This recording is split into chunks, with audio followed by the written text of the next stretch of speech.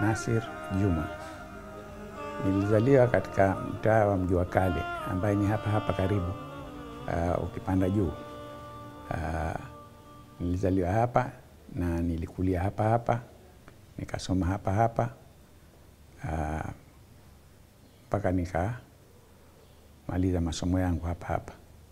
Wazee wangu make babu yangu mzaa mama alikuwa ni shekhe, alikuwa ni mwanachuoni na alikuwa maarufu hapa akiitwa Ahmad Muhammad Matano, na yeye ndiye alimzaa mamangu, na mamangu alikuwa ni mwalimu mualima uh, madrasa akisomesha wasichana.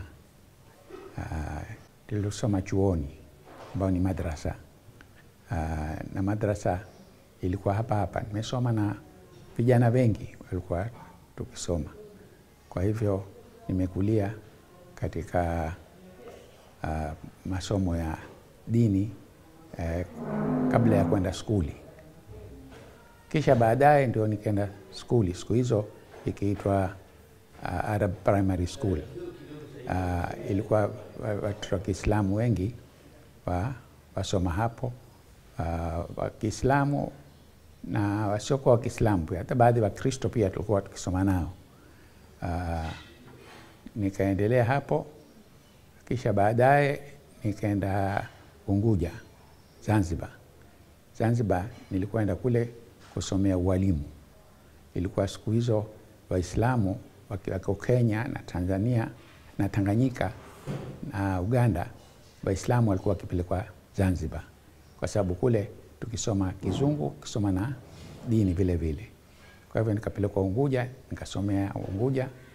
Uh, nilipomaliza Unguja nikarudi nikaanza kusomesha katika ile ile skuli nilokuwa nikisoma mimi zamani. Nikaandikwa kazi pale, nikafanya kazi ya kusomesha, nikasomesha, lakini sikuchukua miaka mingi. Kwa bahati mbaya nilipata maradhi ya kifua kikuu uh, na nikapelekwa hospitali. Hospitali baada ya muda wakasema kuwa sifai kuendelea kusomesha, kwa hivyo nikaachishwa kazi, ndio nikawa sana sishughuliki tena na uh, mambo ya kusomesha uh, lakini kisha baada ya muda kulikuwa na, na chuo cha Kiislamu hapa kikiitwa Miome, Mombasa Institute of Muslim Education. Uh, nikaandikwa kazi pale, nikawa nafanya kazi ya hesabu hizi bookkeeping, na vilevile nikawa nasomesha dini, kusomesha wale wanafunzi walioko pale. Islamu zamani huku ulikuwa ni usuni. Uh, mashia walikuwa sana ni jamaa wa Kihindi na jamaa wengine kidogo wa kutoka nini uh, Bahrain ndio waliokuwa mashia, lakini masuni ndio waliokuwa na nguvu, na madhahabi makubwa yalikuwa ni madhahabi ya Shafii. Mashafii ndio walikuwa wengi sana na uhusiano mzuri, watu walikuwa hakuna hasama, hakuna vita baina ya watu, watu waelewana vizuri, wanaingiliana. Mashia uh, walikuwa ni jamaa wengi wa Kihindi na wao vile vile walikuwa wamekaa vizuri, wameingiliana na watu, kulikuwa hakuna ubaguzi wala vita vyovyote baina yao, kulikuwa na amani kamili. Mimi kama watoto wengine wote ambao wame uh, wameinukia hapa nilikuwa ni katika madhahabi yangu ni Shafii. Uh, nikasoma alhamdulillah vizuri, kasoma hapa na nilipokwenda Unguja kusoma kusomea ualimu nikaongeza ma, ma elimu yangu ya upande wa dini, na nilibahatika Unguja nilimpata mwalimu ambaye alikuwa ni mtu amesoma dini vizuri sana, alikuwa ni shekhe haswa na vile vile amesoma kizungu sana. Yeye alikuwa alisoma Makerere. Uh, alikwenda kusoma Makerere na akarudi kusomesha, alikuwa ni biologist, kazi yake ni kusomesha biology. Kwa hivyo alipokuwa akisomesha dini akichanganya na elimu yake ya science ikafungua zaidi. Mwanzo nimesoma mimi mwenyewe huku huku kwetu walimu wa kidini basi wasomesha dini tu, hawaingia kwenye sciences wala kwenye philosophy wala ni. Lakini nilipofika Unguja kupata Said Omar Abdallah pale kidogo ikawa mtazamo wangu ni tofauti, manake ikawa pale anavyosomesha yeye natazama mambo ambayo nilikuwa siyatazami. Nikarudi nikaja zangu Mombasa, nikaanza kusomesha skuli, lakini kawa kwa sababu ya ile raghba niliyokopata ya kusoma dini, nikawa na hamu zaidi ya kusoma dini. Nikawa nimekaa hapa Mombasa nasomesha skuli, lakini nikawa natafuta mwalimu wa kunisomesha dini zaidi. Kwa bahati mbaya nikajaribu walimu wawili watatu, lakini ikawa kwa sababu ya yale ma, malezi niliyoipata kwa Said Omar Abdallah na mtazamo wangu wa kutaka kusomeshwa, ikawa walimu wa zamani walikuwa ni walimu wa kusomesha vile vile wa kufasiri Kiarabu, Kiswahili, akueleza haingii katika nini branches nyingine za elimu. Kwa hivyo nikawa naona shida, na kwa yule Said Omar Abdallah nilikuwa nimezoea uhuru wa kuuliza na kujadili mambo, ikiwa sikuwa yakubali nikawa naweza ku, kuuliza maswali. Kwa bahati mbaya, mashekhe wa kizamani walikuwa huwezi, huna uhuru wa kuuliza au kudibeti kitu chochote, maana vile unavyoambiwa upokee tu. Kwa hivyo nikawa mimi kidogo, baadhi ya mashekhe wakawa hawanioni vizuri kwa vile na, na udadisi mwingi na kuuliza uliza, basi wa, ikawa mimi mwenyewe sioni raha kwa, vile nilivyosoma kwa Said Omar Abdallah. Uh, sioni raha vile ninavyo uh, sasa, lakini kwa bahati nzuri kulikuwa na mwalimu mmoja ambaye uh, ingawa alikuwa ni mtu mzima mzee, lakini alikuwa na mawazo ya maendeleo sana. Yeye ndio nikampata kunisomesha baada nimekuwa disappointed na mashekhe wengine uh, lakini akani akaniamsha sana, kuniamsha kwa maana kwamba akiniambia kwamba wasia wake saa yote akiniambia usiogope kusoma kitabu chochote, soma kitabu chochote. Asije mtu akakwambia soma kitabu hiki, usisome kitabu hiki, huyo usikubali. Na akanambia kama una maswali we uliza kile kile unachokisoma uliza. Sasa kuuliza ilikuwa zamani si rahisi wanafunzi kuuliza maswali, kumuuliza shekhe maswali, lakini huyu shekhe huyu Shekhe Ghazali aka kama amenikomboa, ikawa sasa yeye namuuliza maswali, na alikuwa uzuri wake ni kwamba nikimuuliza maswali huniuliza mimi kwanza, mimi naona vipi. Nikimweleza atadadisi dadisi akiniona lile jambo ninalifahamu vizuri, atanambia basi, kama wewe waona ni hivyo, haya sasa. Lakini mi naogopa nakuwa na mawazo ambayo ni tofauti na mawazo waliozoea watu wetu. Kwa mfano, jambo, jambo moja ambalo niligundua mimi uh, ni la habari ya Imam Ali. Uh, sisi tumeinukia kama Masuni, twajua maimamu ni unaanza Abubakar, unakuja Umar, unakuja Athman, unakuja Ali. Sasa mi kila nikisoma katika vile vitabu ninavyosoma vya Kisuni, si vya Kishia, vitabu vya Kisuni, na najua na fikra kwamba Imam Ali amepitwa, kama ana, alikuwa awekwa mahali fulani, hakuwekwa pale mahali fulani. Kwa mfano suala yangu alikuwa kubwa kwa yale niliyosoma katika vitabu vya Kisuni, si vitabu vya Kishia, vitabu vya Kisuni inavyoelezwa, naona kama Imam Ali ndiye aliyekuwa awekwa mbele. Kwa nini amewekwa nyuma?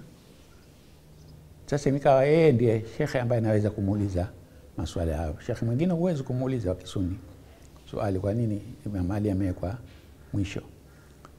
Sasa yeye akiniuliza, aniuliza sababu zangu. Sasa mi namweleza zile sababu ninazoona kwa kuwa ninavyosoma vitabu vya, vya Kisuni, kwa kuwa Imam Ali ndiye alikuwa wa kwanza imam, nini kuwa kusilimu.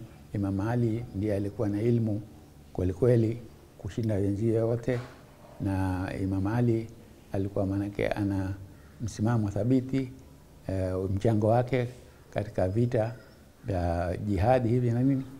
Sasa nikiona mbona sasa huyu ameachwa nyuma, basi yeye akiniambia wewe mabaona hivyo haya, kinyume na mashekhe wengine wa Kisuni, hakuwa mkali akanirukia au aka, akaanza kuniambia maneno makali makali, anaambia kwa wewe una sababu zako, basi shika. Lakini sasa mimi nimelelewa ki, Kisuni, sasa naogopa kuwa na, na mawazo kama yale.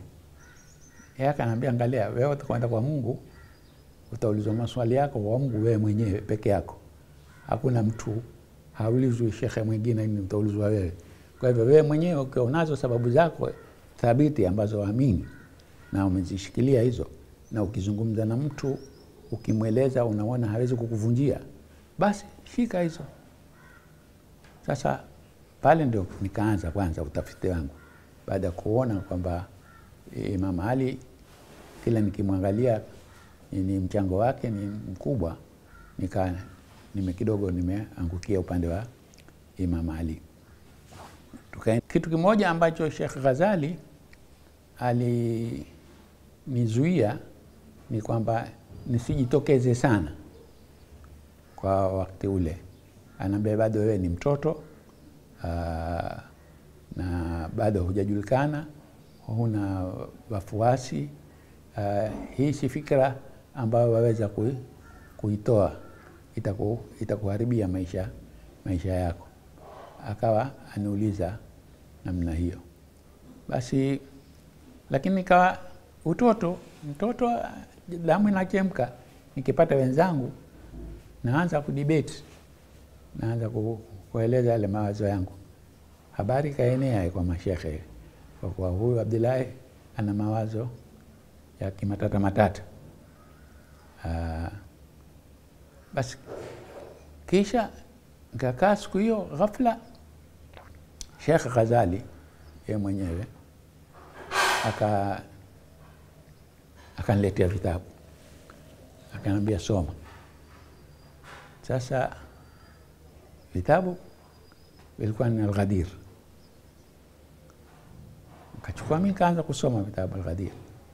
Sasa nilianza kusoma, ikawa mawazo yangu yamepanuka zaidi na nipata hoja nyingi za kutetea ile fikira yangu. Nikivisoma vile vitabu vika, kama ilivyo kitabu Alghadir, maake hoja nyingi sana, vitabu vingi sana. Nikashtuka, nikarudi kwa mwalimu nikamwambia, Maalim, si tulikuwa hatumwiti shekhe sana, tunamwita maalim kwa sababu alikuwa akitusomesha skuli pia. Kaambia, Maalim, sasa wewe umeniletea hiki kitabu, umezidi ume kunikoroga kichwa changu. Maanake mule mna hoja nyingi sana. Basi akanambia we soma mwenyewe angalie. Naambia lakini sasa mimi ile fikira yangu imezidi nguvu kwa kusoma kitabu hiki. Anaambia basi shauri yako. Mashehe wetu wa Kisuni wakieleza habari ya ushia hawaielezi vizuri, hasa wakiwa waeleza habari ya makoja, kwa vile ndio wako karibu. Masia wanaowajua wao ni makoja. Sasa baadhi ya mambo ambayo makoja walikuwa wakifanya kama mambo haya kupiga makonde, habari ya kuweka e, nini bendera nini msikitini, uh, basi yale mambo huku wakitueleza wengine, nikawa napata mawazo zaidi, sio ya mas, masala ya, ya, ya Imam Ali na Imam Hussein tu, kasoma masala ya fiqhi na nini, basi nikaanza kupata mwelekeo juu ya madhhab ya Ahlul Bait, nikaanza kuelewa. Uh, Kwa hakika nilichelewa kujitokeza, na hii ilikuwa kwa advice ya Sheikh Ghazali. Sheikh Ghazali aliponiona nenda mbio sana, yeye akaniwon akanipa akanionya, akaniambia wewe bado ni mtoto na mashekhe wakubwa wako watu wazima wazee, ukijitokeza sasa hivi wewe ukatangaza kwa wewe ushia, utamalizwa, ndio mwisho wako. Hata wakati mmoja nilialikwa baada ya kuwa nimeonekana msimamo yangu, nilialikwa Hussein Day nizungumze kwenye Hussein Day. Nikaenda kwa Sheikh Ghazali nikamwambia kwa furaha, nikamwambia nime, nimealikwa kuzungumza uh, masala ya Imam Hussein na akaniuliza umejibu nini? Nikamwambia nimekubali. Kwa mara ya kwanza Sheikh Ghazali, kwa mara ya kwanza katika mazungumzo yangu mimi na yeye, akapiga mkono wake namna hii, akaniambia umefanya makosa sana. Haja- hajapata kuniambia nimefanya makosa, ila nilipomwambia wakati huo ah, mimi nikash, lakini akanambia vizuri, hutuba yako nitakupangia mimi, usipange wewe. Wazungumza saa ngapi? Kamwambia zile saa, akanambia ambia saa mbili, akanambia saa moja unusu uje njoo nyumbani, kisha mimi nitakupangia hutuba yako. Hutuba yako muda gani? Nusu saa. Nitakupangia khutba yako, wewe ukatoe khutba namna hii nitakavyokueleza. Basi nikaenda mimi nyumbani kwake, akakaa kwenye kiti na mimi nikakaa, akatoa khutba akatoa khutba akatoa akatoa mpaka akamaliza nusu saa sawa. Akaambia umeshika? Nikamwambia nimeshika. Utaweza kutoa namna hii? Nikamwambia naweza. Ni kijana siku zile bongo linashika vizuri. Ni- Sikuwa na notes, sikuwa na nini, nishika tu kwa kichwa. Basi nikatoka mi nikaja kwenye hall, ilikuwa Kadirbai hall.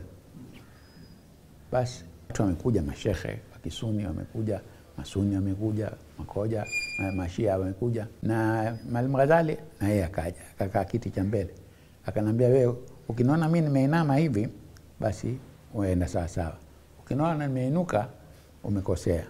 Kwa hivyo rudi tena fuatia ile hotuba yangu. Basi mimi nikasimama nikazungumza saa yote yeye akawa anainama, mi nikazungumza mpaka nikimaliza. Nikimaliza watu wakafurahi na nini, yeye akaondoka akenda zake, akaniambia tutaonana kesho. Basi nilipokwenda siku ya pili asubuhi nyumbani, swala lake la kwanza naambia, shekhe wako amesema nini, ili yule shekhe alirecommend mimi nizungumze. Ameniambia nini? Namwambia mimi nilaumu sana. Anaambia sikuzungumza kitu, nimezungumza upuuzi mtupu, siku nini. Basi akaniambia sawa. Ndipo hapo akanipa advice, akanambia huyu shekhe alikuwa ataka kukuponza wewe, maana alikuwa ataka kukuvunja wewe, na kama ungesema yale maneno unayozungumza kwenye baraza leo, ungekuwa mwisho wako usingetajika tena. Wewe Abdullahi ni mtoto na mashekhe watu wazima bado wako hapa Kenya, hapa Mombasa, wale mashekhe wengekumaliza. Ah, ah, hakumgusa Yazid kabisa. Yeye alizungumza habari ya Hussein tu, alionyesha alikuwa positive, amweleza Hussein ni nani, amesimamia nini na wapinzani wake ni nani, bila ku identify mtu ni huyu huyu Sheikh Ghazali akafa katika 1960. Uh, mi kawa nimeshika darasa yake, alikuwa na darasa yake ya tafsiri ya Qurani.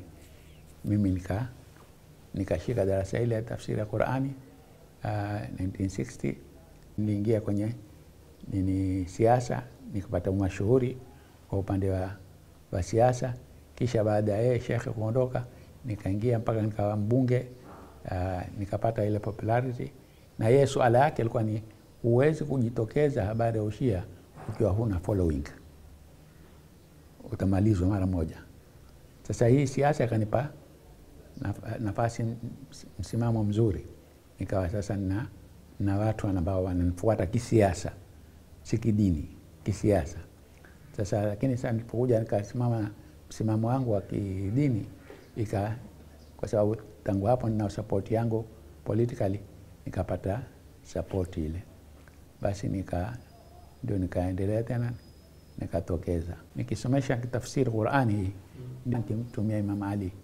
Uh, nikieleza Imam Ali amefanya nini, contribution ya Imam Ali katika uh, katika history ya Uislamu uh, misimamo make ya kwa mfano uh, habari ya ilipokuwa mtume amekufa, nikaweza kutangaza ile kwa ya, mtu kama Abubakar na Umar hawakuweko kwenye funeral ya mtume, na habari ya walipoingia nyumbani kwenda kwa Bibi Fatima, nikieleza bila kutaja ushia wala nini, mimi naeleza ni historical facts tu, hili lilikuweko, hili lilikuweko.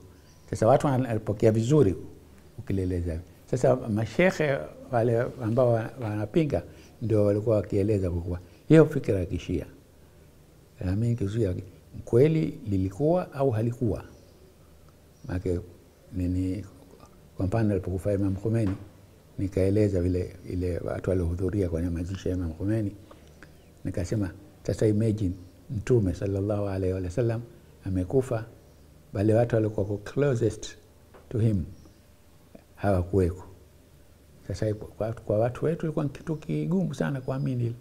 Abubakar hakuweko kwenye mazishi ya Mtume, Omar hakuweko. Alikuweko wapi? Ambaye alikuwa anashughulika na namna ku take over leadership ya sasa. Jamani walipoona eh, sasa hii Abdullah aleta hatari, ndio kaanza kunishambulia tena vile tena, ikameshaanza mambo ya kaseti hizi na nini. Sasa kaseti zika zikaenea sana zikapendeza kwa watu wengi. Sasa watu wengi ndio wakaanza kunifuata kuja kwenye darasa yangu. Kwa mfano kama wakati wa Rushdi nimezungumza masala ya Rushdi ni saa tatu unusu three and a half hours, na msikiti maanake ulijaa watu, walikuja kutoka sehemu mbalimbali za Kenya, kutoka hata Tanzania.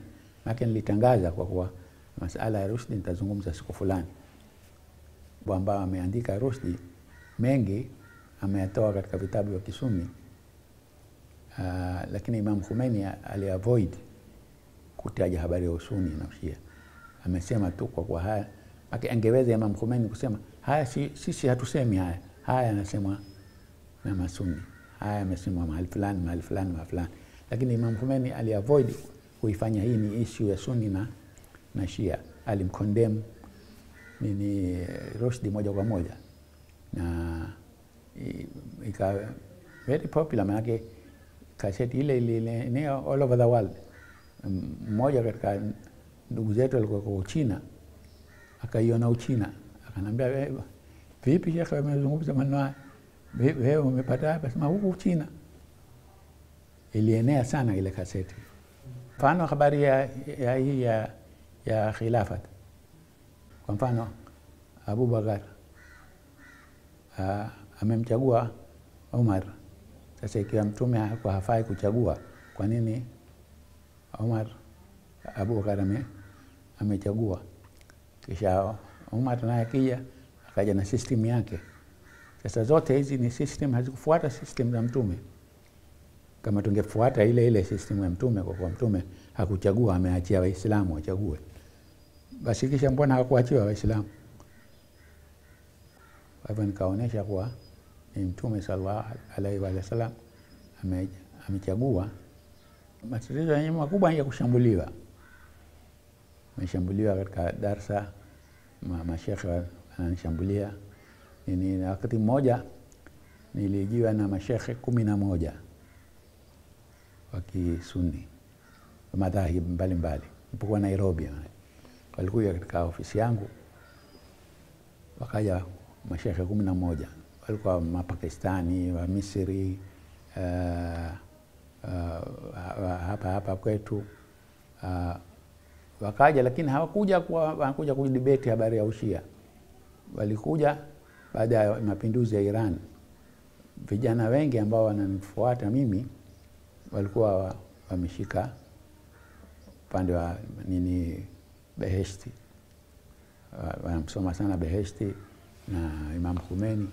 Sasa ikawatia wasiwasi watu sana ile, kwa kuwa vijana wengi na wengi ni intellectuals wanakuja kuja kuzungumza na mimi, kwa nini hawa followers wangu vijana hawa wengi wameacha kusoma kina Maududi, wameacha kusoma kina Said Qutb, wanasoma wasoma wa Irani, ndio ndio walivyonieleza, wanakuja kukutana na mimi kuzungumza hilo. Walipokuja nini, wakazungumza. Sasa mimi nikamwambia, kwa hiyo suala hiyo si si mimi kuniuliza mimi, tuwaite hawa vijana wenyewe tuwaulize kwa nini, wao waeleze kitu gani kimewafanya wavutike huku waache huku. Mimi mimi si, si, mimi nasoma wote. Basi mmoja katika mashekhe ambaye ni staunch Wahabi akasema asema, angalia bana let us not beat about the bush. Yeah, asema hivyo kwa Kiingereza. Sasa mimi bana, mi nitaeleza fact. Mimi bana, katika sijapata kuona azungumza kwa Kiingereza ni worst people than she has most horrible people than Shias, greatest kafir and Shia. Mimi nikajibu kuwa nimesikia maneno haya, lakini nafikiri tukubaliane kwanza, Shia ni nani? Pengine nakubaliana na Sheikh kwa kuwa ikiwa Shia ni huyo ndiye worst, ndiye most dangerous, ndio nini. Basi sasa katika kudefine who is a Shia, mashekhe kumi na moja kila mmoja na vasheni yake, wakaanza kugongana wao wenyewe kwa wenyewe. Yule asema Shia ni hivi, yule asema hapana, hapana, hiyo sio Shia, Shia ni hivi, asema hapana, hapana, huyo sio Shia, Shia ni huyo. Ikafika dakika hamsini hawakukubaliana wao wenyewe, waka wakatoka ofisini kwangu, wakatoka fuatana na wao walitaka kurekodi. Walipokuja kwanza, wakanambia kwamba tutazungumza, lakini shekhe, tupe ruhusa turekodi. Mi nikamwambia ruhusa, lakini kwa, kwa sharti na mi nipate kopi ya hii kaseti. Wakanambia sawa, tutakupa. Kumbe wale walikuwa wampangwa na balozi wa Saudi Arabia. Waliporudi kule kwa balozi, wakamwambia balozi, wakamwambia balozi, wakamwambia Abdullahi, dakika tano tu knocked out. Basi akafurahi. Sasa kule balozi ya Saudia kulikuwa na kijana ambaye wakubaliana na mimi afanya kazi kule Saudi Arabia, akaja akanieleza, akanambia jamaa amekuja hapa jubilant kabisa, asema kumaliza dakika tano tumkwisha. Basi mimi kaa nimeshakuwa promised kaseti, nikamwambia la, ngojea. Nitakujibu sasa hivi, siwezi kukujibu. Kwa sababu mimi nangojea nipate kaseti.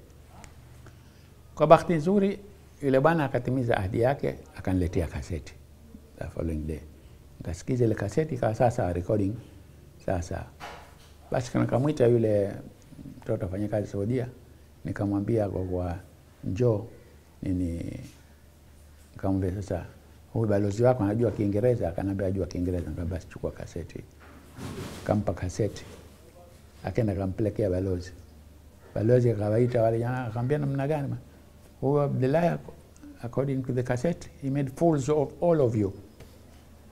Suala moja tu, huize Shia, nyinyi wenyewe hamkubaliani. Kwa hivyo nini yangu ni kwamba wasome, wasisikize maneno ya watu, wapate vitabu vya Kishia, wavisome, waelewe mashia wasema nini.